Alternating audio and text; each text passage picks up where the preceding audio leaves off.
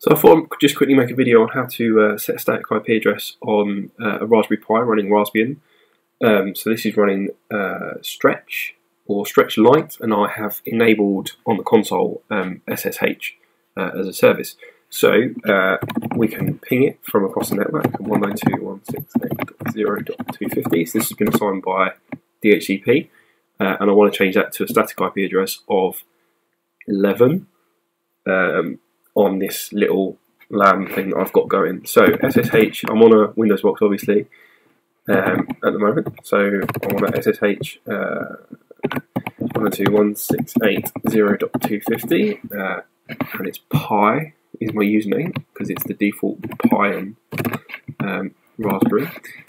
Uh, gonna have to accept this if we want to connect. But is looks good.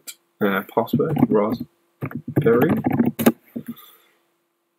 we're in, so let's clear and we're good. So, um, to change the IP address to static, we need to edit a, a, specific file, and that file has recently changed. So on Debian, Ubuntu, Raspbian, uh, it's now the DHCPCD file. Um, so I'm going to sudo uh, nano is my text editor of choice, uh, and we're going to go itsy, and then it's uh,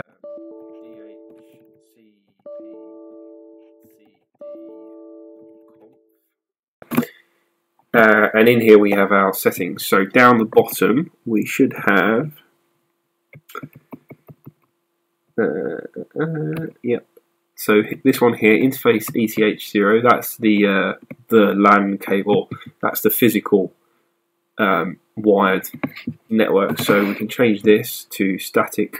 Uh, I don't really care about six on this network. Um, so we'll set the IP address to 11. We'll change the router. Now the route is correct and DNS is fine. We'll remove the IPv6 DNS though. Uh, I'm not too worried about the wireless LAN, so that's fine. We'll write this file out. So we control O, and then we'll close that, and then we'll just do a reboot. There are other ways of um, forcing the network. Basically, you have to restart uh, one of the network services, and I just find a reboot is a lot easier. So we will ping this IP address that it should now come back up on. If you add dash T in Windows, it will carry on pinging until you tell it to stop. There we go. Looks like it's back up.